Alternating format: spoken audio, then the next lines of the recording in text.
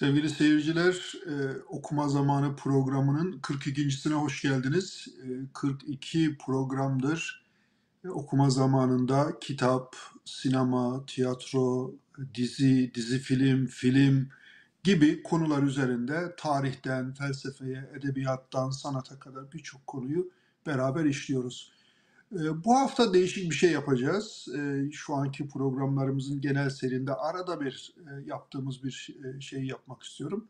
O da nedir? Bir e, şu an YouTube'da yayınlanan bir belgesel mahiyetinde çok güzel bir seri var. O serinin yapımcısıyla görüşeceğim. Ama neden bununla görüşeceğim? Sebebini hemen baştan söyleyelim. Benim kendime göre bir kitap listem var sevgili seyirciler. O kitap listemde sizlerle e, bir araya gelmek, o kitabı tartışmak, konuşmak, e, daha derinlikli analizler yapmak için e, bir program yapıyorum. Bu buna da bu, bunu da hemen antiparantez söyleyeyim. Sizin de kitap, sinema, tiyatro vesaire gibi konularda tavsiyelerinizi, tekliflerinizi beklerim. Ama benim listemde Türk Edebiyatı'nın çok önemli bir eseri var. Oğuz Atay'ın Tutunamayanlar diye bir eseri var. Böyle çarpıcı, sarsıcı, hakikaten biraz uzun, yorucu. Ben onunla ilgili ayrıca yapacağım. Bugünkü konumuz bu değil. Ama Oğuz Atay'a bir yer ayırmak, Oğuz Atay'ın gözünden bir neslin bunalımlarını, sıkıntılarını, açmazlarını, çıkmazlarını sizlerle paylaşmak istiyorum. Fakat bu tam da bununla ilgili hazırlığımı yaparken Tutunamayanlar adlı romanın Oğuz Atay tarafından yazılan Türk Edebiyatı'nın çok önemli eserlerinden birisi olan Tutunamayanlar kitabını böyle bir teşrih masasına yatıralım diye hesap kitap yaparken bir de YouTube'da gördüm ki Tutunanlar diye bir e, yarı belgesel bir yapım yapım e, ortaya çıkmış. Allah Allah bu da neyin nesidir diye düşündüm ve iki, iki bölüm yayınlanmış. iki bölümünü de izledim. Dedim yok benim bu programı yapan arkadaşlara ulaşmam lazım. Bir tarafta terazinin bir kefesinde Oğuz Atay'ın tutunamayanları var. Bir de e, yurt dışında özellikle e, Avrupa'da Türkiye'den gelmiş Avrupa'nın çeşitli yerlerinde Balkanlar dahil olmak üzere insanların hayata tutunma gayretlerini anlatan bir e, dizi var. Belgesel bir dizi var. Bunun yapımcısına ulaşayım. Neden tutunanlar? Bunu yap, bunun ismini verirken Oğuz Atay aklınıza geldi mi? Tutunanların e, felsefesi nedir? Neden böyle bir yola düştünüz? diye bir e, program yapayım. Sizlerle bunu önce paylaşayım. Bir sonraki haftaya da Oğuz Atay'ın Tutunamayanlar kitabı üzerine bir e, ışık tutalım, bir mercek altına alalım diye programımı planladım. Şimdi konuğum bu e, Tutunanlar ismini verdiği diziyi ikinci bölümünü çekip yayınlayan ve daha sonra devam edeceğini öğrendim. E, belgesel yapımcısı ve gazeteci e, Ahmet Taştan'ı, Ahmet Daştan'ı e, huzurlarınızda. Önce selamlamak istiyorum, sonra tebrik etmek istiyorum. Ahmet Bey çok e, katıldığınız için çok teşekkür ediyorum. Güzel bir şey imza atmışsınız. Önce kısaca bize sevgili seyircilerimize kendinizi tanıtır mısınız? Estağfurullah. Ben teşekkür ediyorum esas konuklar ağırladığınızdan dolayı. Ee, ismim Ahmet Daş'tan ifade ettiğiniz gibi. Ben Romanya'da ikamet ediyorum. Ee, tabii böyle bir projeye başlarken ismiyle alakalı gördüğüm kadarıyla siz de çok rahat bir şekilde yakalamışsınız zaten. Yani duayen bir edebiyatçı olarak ifade ettiğiniz gibi ismini Oğuz Atay'ın Tutunamayanlar kitabının biraz tersi gibi düşünerek Tutunanlar yapmış olduk. O kitapta malumunuz yani belki Türk edebiyatında özellikle e, postmodern roman olarak çığır açan bir roman. Orada yani Salih Işık belki romanın kahramanı iç dünyasında bir yolculuk yapıyor. Daha doğrusu bir göç yapıyor. Neticesinde belki bunalımlarıyla o göçün sonunu intihar olarak tamamlıyor. Onu da o şekilde takip eden, onun hayatında iz bırakmış insanlara gidip konuşturup onlardan işte o e, Salih'i öğrenmeye çalışan Tuncay Özben de bir anlamda özbenliğini farklı bir yakalıyor. Değişik bir yolculuğa çıkıyor. En sonunda bir trene binip kayboluyor. Fakat tabii bizimki öyle değil. Bizde kaybolma yok. E, böyle bir göçün neticesinde de e, benliği kaybetme diye bir şey de yok. Tam tersine yani insanların gittikleri yerlerde yeniden bir hayat kurup aynı mücadeleyle, aynı azimle ve aynı heyecanla hayatlarına devam ettiklerinin hikayesini çekmeye çalışıyoruz. Bir anlamda dediğiniz gibi romanın e, isminden mülhem böyle bir isim koymuş olduk. Peki romanın isminden mülhem e, bir e, kontratak yaparak tutunanlar yapmışsınız. Ben çok beğendim. Yani e, tabii ki şartlar ayrı, nesiller ayrı, kuşaklar ayrı, kuşakların beklentileri ayrı, e, kuşakların yaşadığı ve müşahede ettiği hadiseler ayrı. Yani onu ben nasip olursa önümüzdeki hafta tutuna, tutunamayanlar Oğuz Atay e, sadedinde bir üzerinde genişçe durmak istiyorum. Hatta e, şimdiden söyleyeyim sevgili seyircilerimize sadece bu tutunamayanlar konusunun Türklere ve Türkiye'ye mahsus olmadığını Amerika'ya ağıt diyebileceğim bir filmden de hareketle nasıl bazı nesillerin her ülkede heder olduğunu, perişan olduğunu e, anlatmayı istiyorum, düşünüyorum bir film üzerinden. Ama benim bu, bu ismin dışında bir de sizden merak ettiğim başka bir şey de var. Tamam bu isim koyarken güzel, iyi bir tercih yapmışsınız. Hoş bir tercih yapmışsınız. Bir e, e, insanlarda çağrışımı kuvvetli, özellikle edebiyata meraklı insanlarda çağrışımı olan bir isim seçmişsiniz. Tebrik ediyorum. Onun dışında bu konuya eğilmenizi temin eden bir motivasyonunuz var mı? Nereden aklınıza geldi bu? Yani Türkiye dışına çıkmış insanların hayat mücadelesi ve hayata tutunması nereden aklınıza geçiyor? Çünkü ben hemen sevgili seyircilerimize söyleyeyim. Belki izlemeyen vardır. İki bölüm çektiniz anladığım kadarıyla. Birisi Doktor Mehmet Ateş, diğeri Ali Topdağ eski bir e, öğretmen, eğitimci. E, ikisinin de hayatında ortak özellikleri var ama bu isimlendirmenin dışında bu e, hangi motivasyonla bu insanlara ulaştınız? Bu konuya denil, bu konuda derinleştiniz. Aslında bunu hani böyle yeni düşündüğüm bir şey değil. Yani kendime mevzuyu belki e, sorduğunuzu düşünerek söylüyorum. Özellikle 15 Temmuz sonrasında birçok şey, süreç yaşandı, birçok şey yaşandı. Bunlardan belki en belirgin olanlardan bir tanesi de göçtü.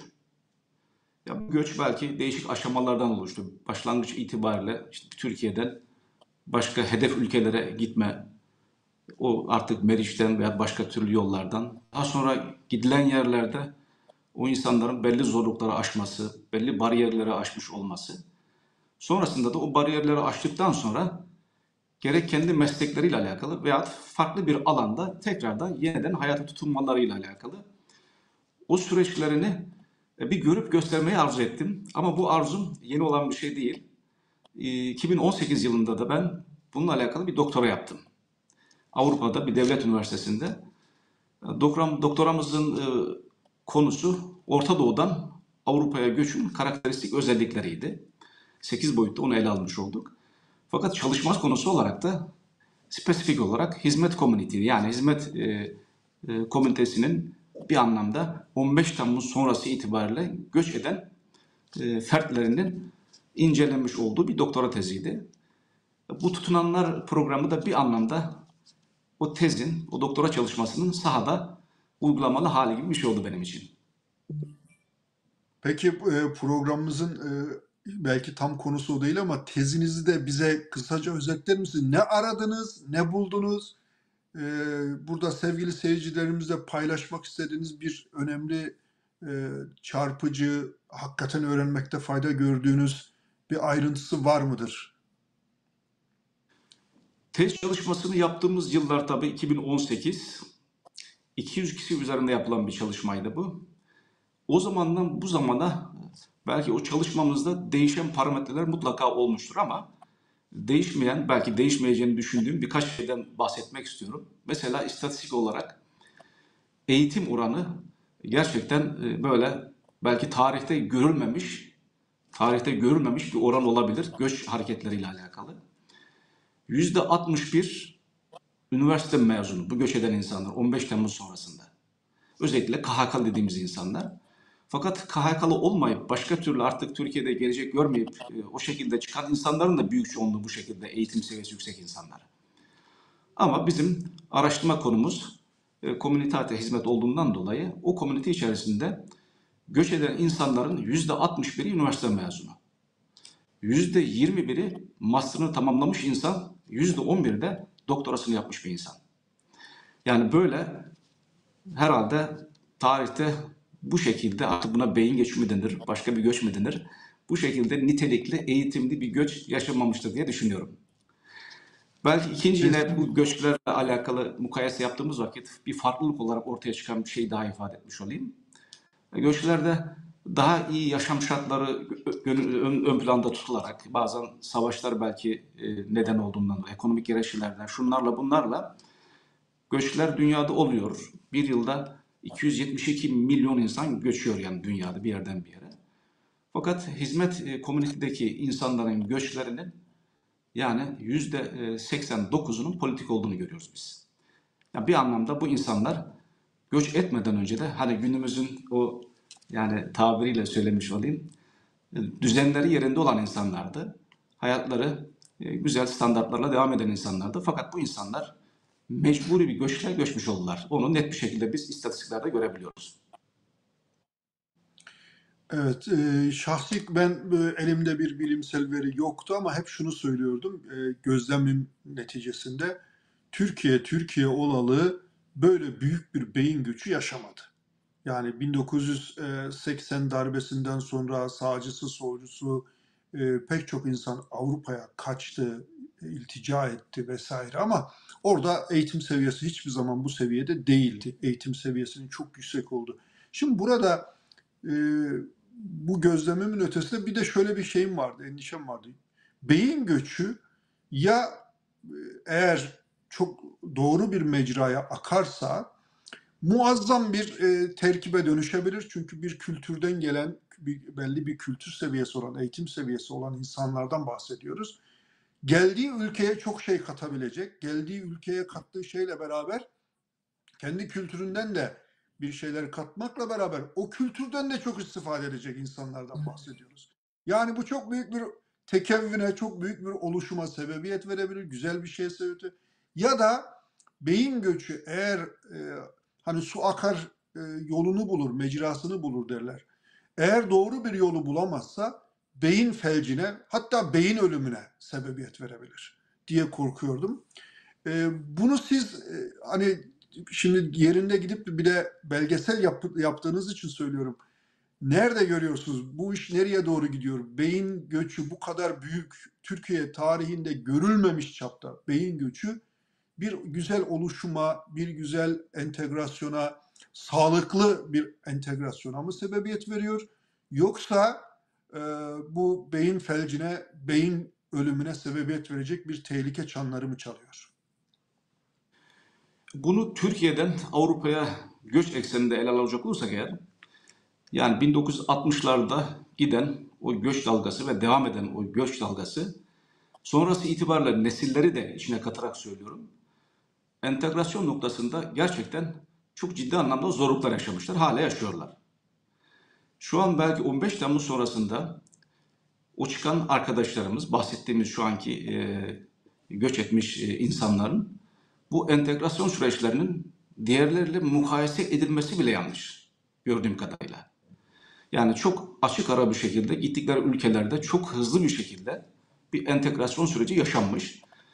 Daha alınması gereken yol çok. O ayrı bir konu ama e, bu kadar kısa bir sürede bu kadar gittikleri toplumlara adapte olma böyle kolay olacak bir şey değil.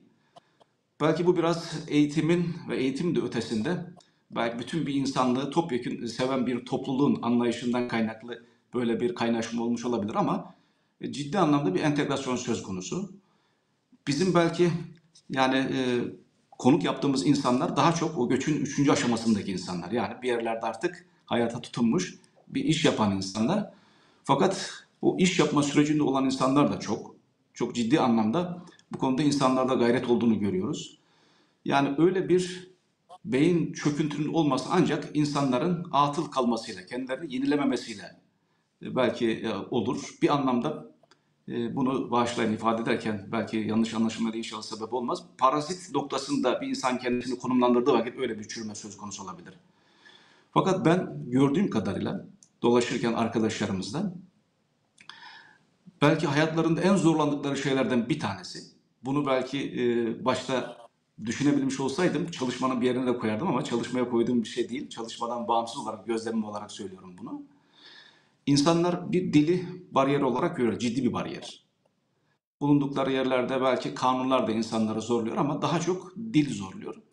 Bir de gördüğüm kadarıyla o insanları en çok rahatsız eden şeylerden bir tanesi de henüz halihazırda belli başlı özellikle dil konusundaki yetersizliklerinden kaynaklı sosyal devletin imkanlarından istifade etmekten dolayı duydukları rahatsızlığı gördüm ben.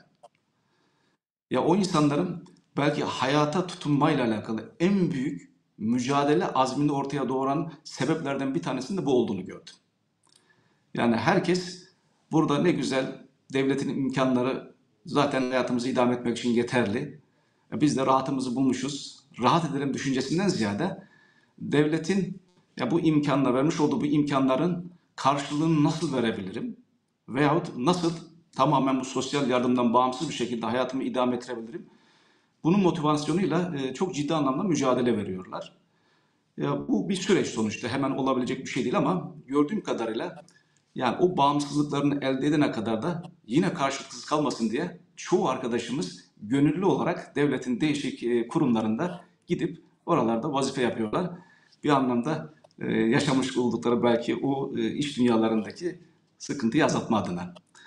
Dolayısıyla böyle motivasyonları olan bir topluluğun bir yerde çürümesi diye bir şey ben çok olanaklı görmüyorum. Herkes çok hızlı bir şekilde gittikleri yerlerde adapte olmuşlar. Hayata bir yerden tutunmuşlar. Bir kısmı da henüz daha tabii zaman gerektiğinden dolayı tutunma yolundalar.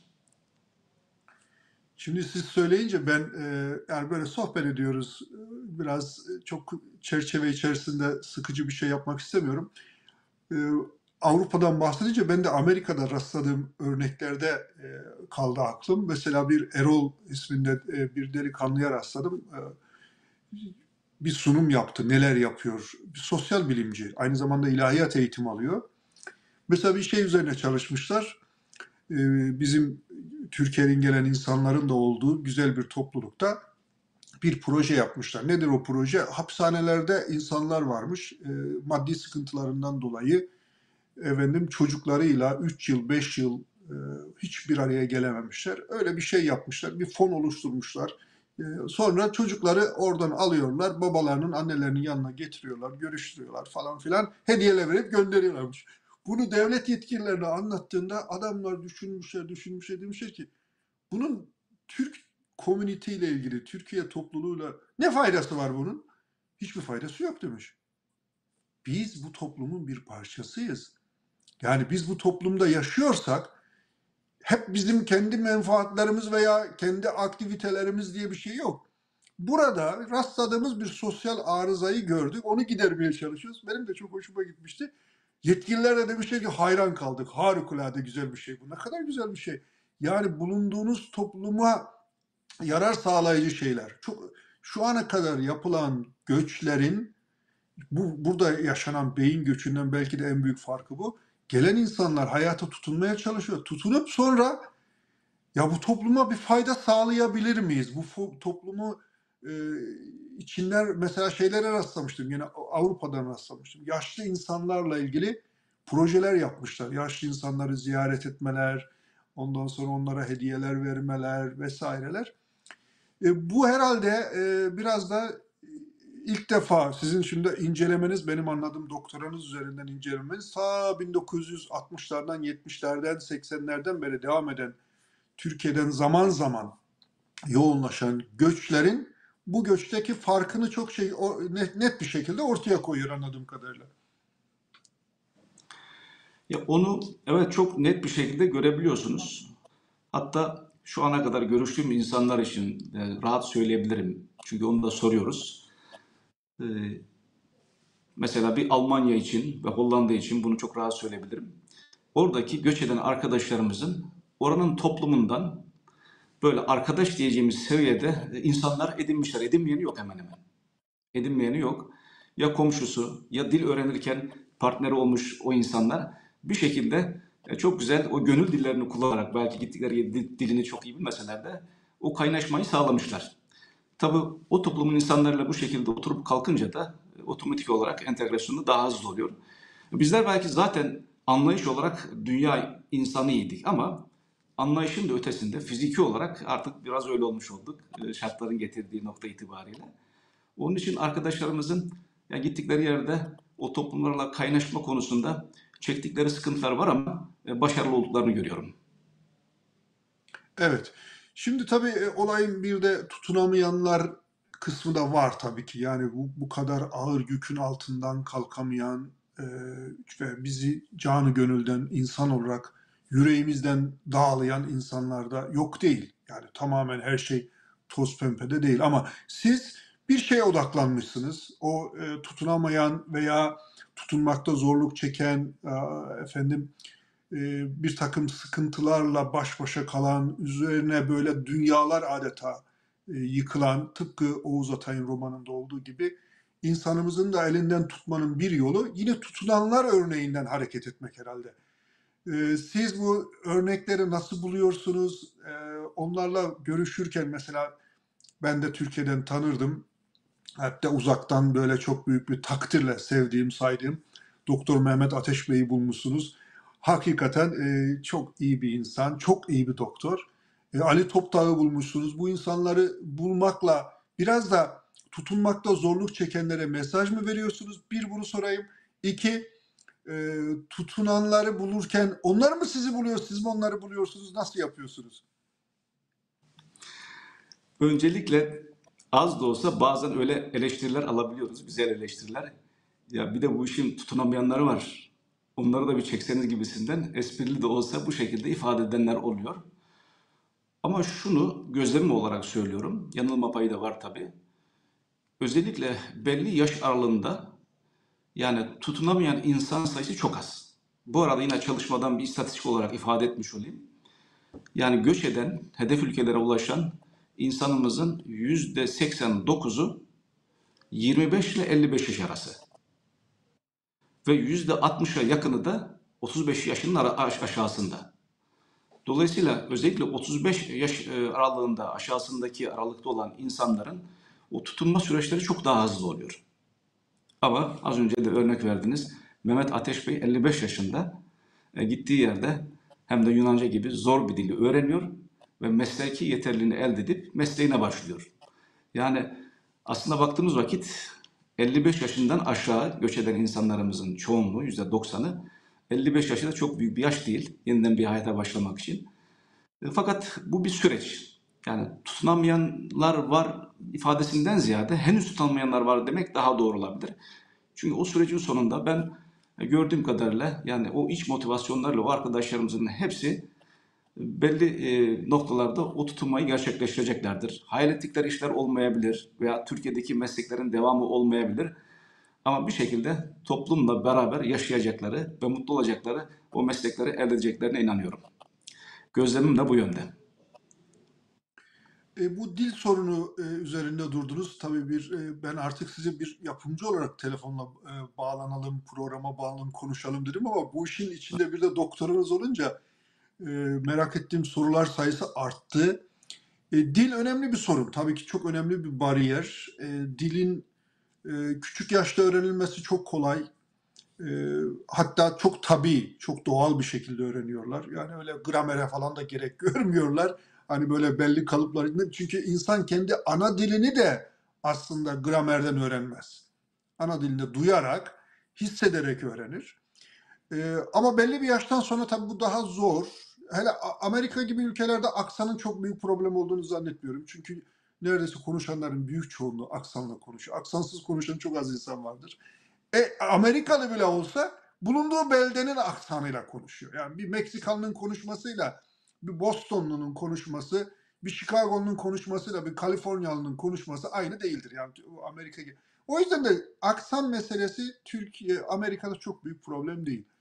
Avrupa'da dil öğrenme yolunda insanlar mesafe alırken özellikle belli bir yaşın üstündeki insanların bir sıkıntı yaşadığını e, ve bu sıkıntının sosyolojik bir sıkıntıya seviyet verebileceğini gördünüz mü? Böyle bir gözleminiz var. Merak ettim soruyorum.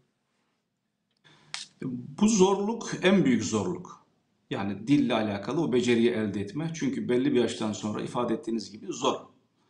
Fakat ya toplumlar özellikle sizin hikayenizi bildiği vakit bu konuda çok anlayışlı olabiliyor. Gö- gözlemlediğim şey o. Mesela bu hafta yayına girecek olan biraz da reklam olmuş olacak ama bir öğretmen arkadaşımız var. Hollanda'dan bir öğretmen arkadaşımız. Ya oraya gidiyor, dili kısa bir sürede öğrenebildiği kadar öğreniyor. Başta gönüllü olarak başladı okulda, daha sonra normal öğretmen olarak başlıyor. Ve öğretmen olarak başladıktan sonra bir gün öğretmen odasında hatta ona sürpriz yapmışlar. Orada öyle değerlendirme yapıyorlarmış. Öğretmenler arkadaşlar hakkında da değerlendirme yapıyorlar. Hakkında yaptıkları değerlendirmeleri gösterdi bana. Hatta böyle not kağıtlarına yazmışlar hepsi. E sanki yıllardır orada o kuruma hizmet eden çok tecrübeli bir öğretmen hakkında konuşuyorlar gibi değerlendirmelerde bulunmuşlar. Fakat bu insanın dil yetersizliği aşikar. Dolayısıyla demek istediğim şey yani öğretmen gibi dil becerisinin çok önemli olduğu bir meslekte dahi o mesleğini gönül dille icra eden insanlara karşı o toplumun insanları da çok anlayışla karşılıyorlar. Onların o eksikliği yani onlarda böyle dezavantaj değil çoğu zaman sempati anlamında avantaja dahi dönüşebiliyor. Ama tabii yüzde yüz o toplumun dilini öğrenme şansları yok. Fakat, fakatını da belki ifade etmiş olmak e, iyi olur. Onların çocukları için aynı şeyi söylemem. Gördüğüm kadarıyla, gözlemlediğim kadarıyla hatta evde iki çocuk varsa çocuklar kendi aralarında o yerel dili konuşuyorlar. Türkçe konuşmuyorlar bazı yerlerde. Yani e, şu an belki kısa bir süre oldu, bir 7 sene oldu ama 7 sene içerisinde orada ilkokula başlamış çocuklarda özellikle o dil probleminin hemen hemen hiç olmadığını görüyoruz. Dolayısıyla çok uzağa gitmeden hemen ikinci nesil itibariyle yani oranın dilini çok iyi bilen artı oralara gidişinde böyle baktığımız vakit politik nedenlerle giden ve iltica eden insanların durumu diğerlerinden farklıdır. Devletin nazarında da toplumun nazarında da. Dolayısıyla bu anlamda arkadaşların oradaki bulunuş keyfiyetlerinde herhangi bir şekilde itibar sarsılması diye bir şey söz konusu değil. Zaten muhatap oldukları insanlar o cevheri görmüş oluyorlar. Nedenini de öğrendikleri vakit daha da sevgiler artıyor. Yani o çocukların da dil problemleri olmadığından dolayı o toplumun içerisinde bunu ifade ederken hani bir aşağılama anlamda söylemiyorum. Bir gerçek olarak ifade ediyorum.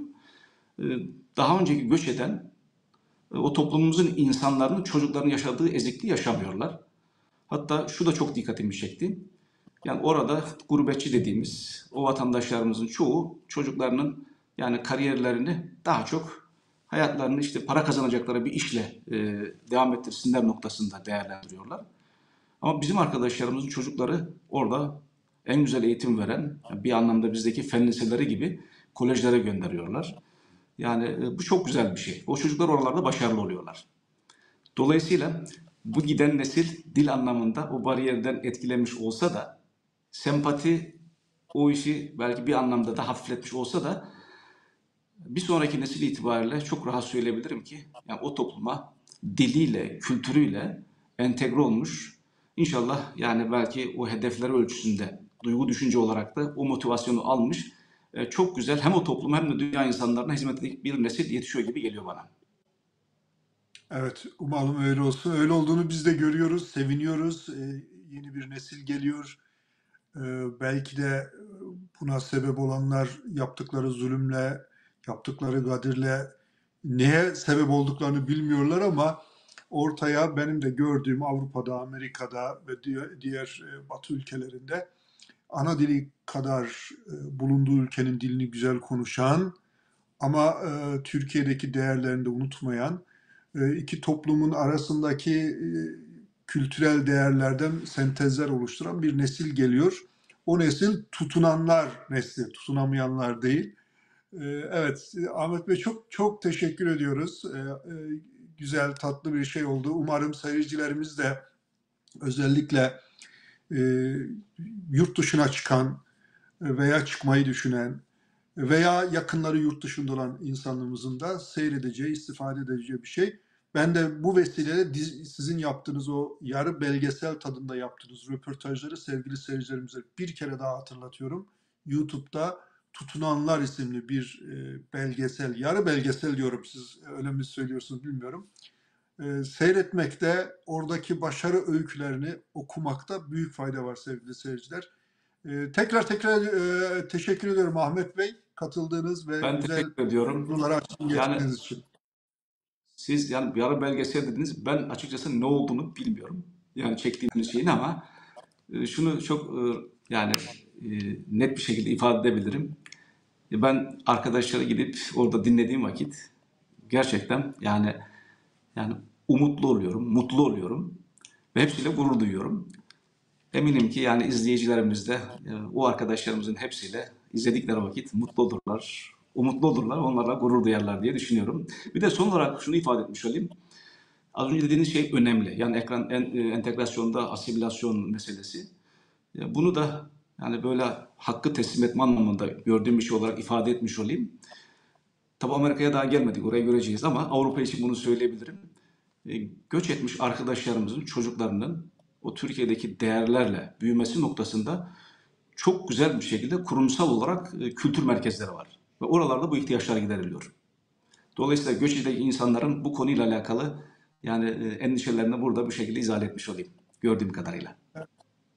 Çok teşekkür ediyoruz. Çok güzel bir şey söylediniz. Ben çok teşekkür ederim. Amerika'da da böyle, Amerika'yı da bekliyoruz. Ee, Kültür merkezleri sadece kültür merkezi olmaktan çıktı, kültür sanat merkezi oldu.